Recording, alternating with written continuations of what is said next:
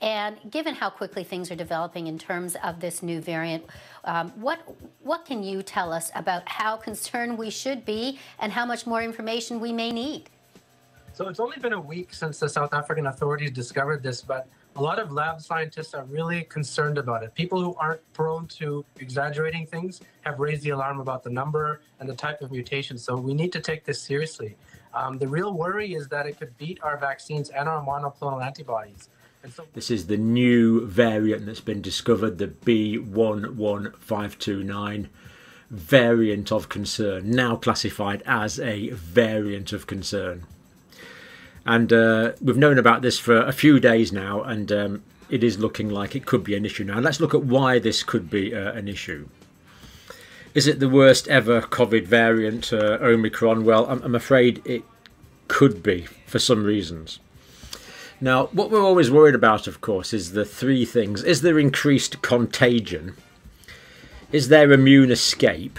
In other words, the people that have been vaccinated, can they now get it? Will they lose the protection from the vaccine? And people that have had the natural infection, will they lose protection? And uh, is it going to make people sicker? Is it more pathogenic? These are always the questions we need to look at. Now, so far, the data does seem to indicate that uh, Omicron is uh, more contagious. It's looking that way. Immune escape, it's looking that way, albeit with a smaller tick. We're less sure about that. So it looks like we're pretty sure about this one. Um, less sure about this, but it looks like a, a, I think we have to say it's a probability rather than a possibility. And does it make people sicker? We have no idea about that at the moment. No data either way at all on that. So this is what we know and what we don't know. Now let's look briefly at what the World Health Organization has said first of all.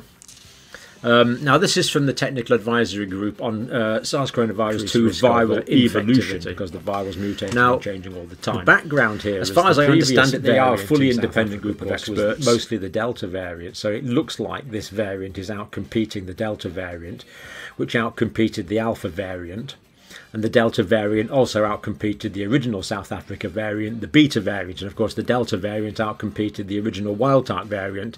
Now it seems the Omicron variant is outcompeting the Delta variant, so pretty, uh, pretty contagious by the looks of it.